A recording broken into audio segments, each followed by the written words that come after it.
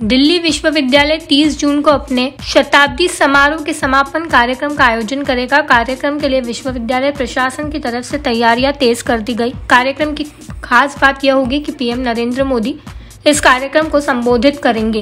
PM Modi video conferencing के ज़रिए जुड़कर नए इमारत की आधारशिला रखने के साथ साथ एक पुस्तक का भी विमोचन करेंगे। दिल्ली विश्वविद्यालय 30 जून को अपने शताब्दी समारोह के समापन कार्यक्रम का आयोजन करेगा। कार्यक्रम के लिए विश्वविद्यालय प्रशासन की तरफ़ से तैयारियाँ तेज कर दी गई। कार्यक्रम की खास बात यह होगी कि पीएम नरेंद्र मोदी इस कार्यक्रम को संबोधित करेंगे।